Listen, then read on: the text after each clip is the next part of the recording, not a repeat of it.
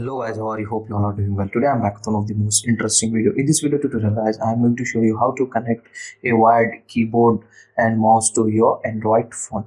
As you can see guys i have my android phone just i want to connect this keyboard and this mouse to my phone. So i have wired keyboard and mouse. So as you can see guys this is our keyboard wire and this is our mouse wire. So now let's see how to connect it with our android phone. To connect uh, these guys you need to have an extra uh, usb hub like this as you can see guys. If you want to buy this you can get the link of this product in my video description. In my phone guys i have type c port as you can see guys not micro usb port. I have type c port so just need to buy a type c usb hub. As you can see guys i have already buy this. So just simply connect this okay? After connecting if the uh, cable is not detecting in your phone at that time what you need to do. You need to open your phone settings okay? Like this in the phone settings scroll down and find out developer option. If the developer option is not there in your phone go to about phone and go to software information and tap on build number 4 to 7 time okay? And you will get the developer option. So just open it and simply enable the developer option.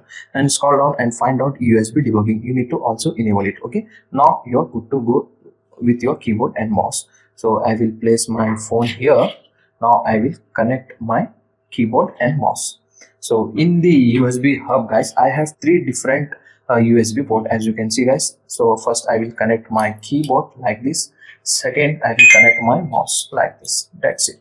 Now you don't need to do any extra setting. Now you can easily able to uh, use your keyboard and mouse with your android phone. So as you can see guys i will press num lock how it's work so as you can see guys now my keyboard was turned on. Same thing with my mouse. So as you can see guys the mouse is also working. So the cursor is showing in my phone screen.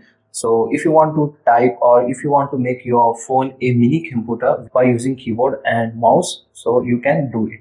So if you want to open any uh, file or application just click on it it will open. If you want to type so you can easily able to type here.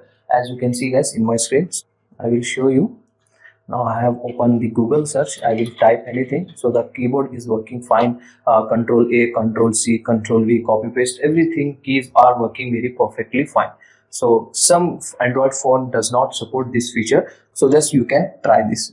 Okay? So with this help of method guys with this help of this usb hub especially so you can connect the wired keyboard and mouse with your android phone. So that's it for today guys. It's a short and simple video. Hope you enjoy this. If you enjoy please guys don't go back without like share and subscribe to our channel. Thank you very much